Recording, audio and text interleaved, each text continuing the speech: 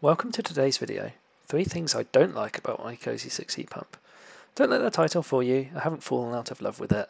It does a great job at heating the home effectively, efficiently and very cost effectively. But nothing's perfect, so I just wanted to go over three things I think could be better.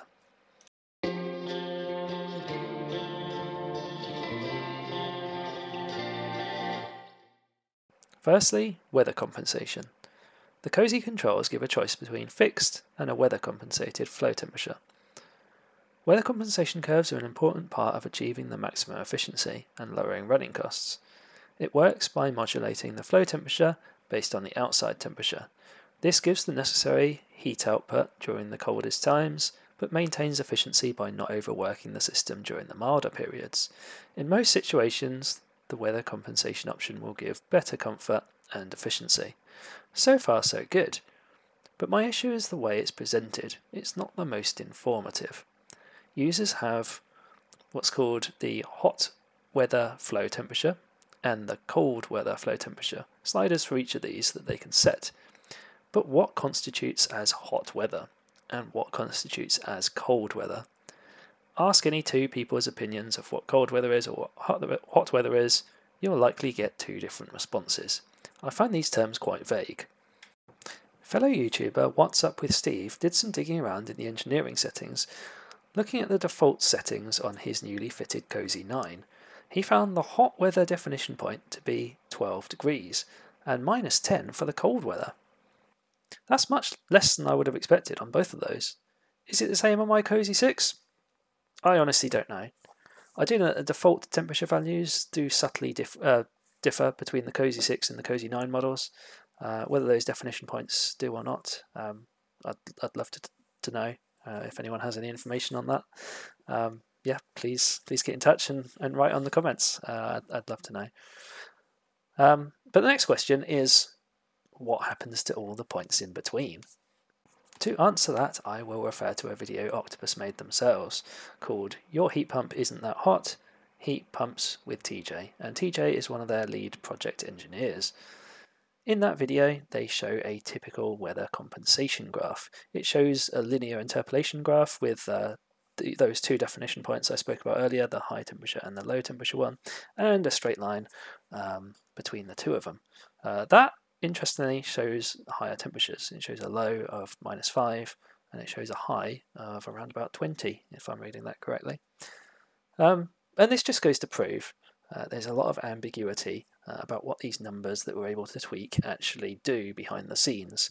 Um, obviously, the premise uh, is, is quite uh, easy to understand, but um, the actual points uh, which you're, you're, tweaking these, it's it's not the not the clearest. Um, so so what I would do, um, I would love to see uh, the graph uh, in on the app there um, in, in visual form. I think that would be a really good addition.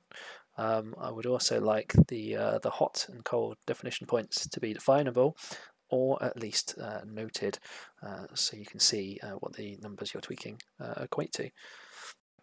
The second gripe I have is inaccurate hot water temperature. So the hot water temperature in the app reads something far lower than expected after a little bit of water has been used. So I've seen values uh, in the 20s, um, I've seen values in the in the teens, I've seen as low as 14 degrees before um, when I haven't actually run out of, of hot water. Um, I understand this is because the thermostat is near the bottom, so in my case it's around about a third of the way up the cylinder. Um, naturally, the, the hot water tends to rise to the top, um, and, and the colder water uh, is towards the bottom. So uh, it makes sense that if the thermostat is near the bottom, um, it will be reading a, uh, a, much cooler temperature as you begin to use some of this water. Um, but uh, you can have over half a tank still and it will show you a very low number which is deceptive it starts to make you panic that you're uh, about to run out when uh, that's not necessarily the case. So I wonder if instead it makes sense to display the quantity or proportion of hot water remaining, if there's a way it can calculate that. Uh, what are your thoughts and uh, what do other heat pump brands display for this? Um, maybe the solution is to simply move up the thermostat, but I assume it's down there near the bottom. um, to ensure that the whole cylinder uh, is heated and that it's not only heating uh, the top proportion. The third thing which could be better is the outside temperature readings. It's about right most of the time, and this is only a concern on particularly sunny days. Um, but I have it in a south-facing location, and I find that it, the temperature can jump up a little bit too much in direct sunlight. So the worst example I have here is it shows uh, a temperature of around about 27 degrees on a day which actually peaked at 21. This is due to the Cosy having an inbuilt thermostat, not a separate one, uh, that's located elsewhere from the unit.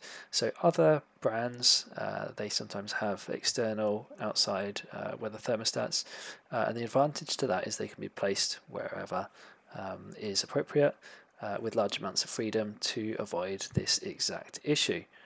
Um, the worst case scenario of this is the graph data looks a little bit off on sunny days and it may end up reducing the flow temperature on sunny days.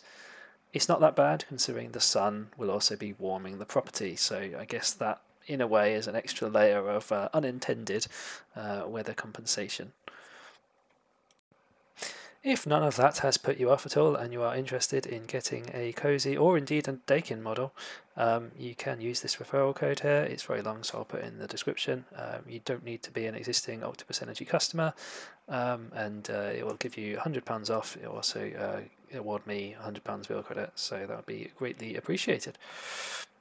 So before I go, I wanted to cover off a few areas that other people have criticised the uh, uh, the Cosy heat pumps for, um, and it, it, these things just don't bother me in the slightest. Actually, uh, first off, the appearance. Um, it has been said that it looks like a uh, McDonald's car park bin. I, I don't dispute that. Uh, I understand the uh, appearance is quite divisive, but I actually quite like it. I had a couple of contractors. they they mentioned that it looked more stylish than some of the rectangular boxes that they've seen in other properties. Um, another thing that has bothered people is um, that you have no physical uh, thermostat within the house that um, where you can simply just uh, press that and uh, uh change the temperature and, and set things up. Uh, it's kind of all online and done through the app. Um, my response to that is probably why would you need to tweak it so regularly? You've got a boost function which you can do from either um, the, the, the Cosy um, pods or or the app, so um, that, that seems to serve the purpose. I've only needed to press that once in about two months. Um, and uh, yeah, obviously the internet going down is always uh, an unfortunate thing. It's it's always causing a lot of hassle. But um, I would say that with the heat pump, I pretty much just um, set it, and you know it's not something I need to endlessly tweak. Um, that, that's my experience anyway.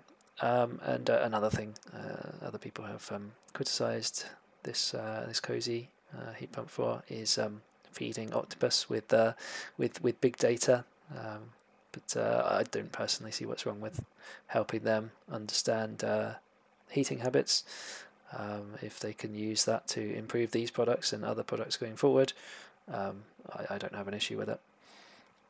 What do you think about the points raised in this video? Do you or would you think any of these would really bother you? Do you have another brand of heat pump that do things differently?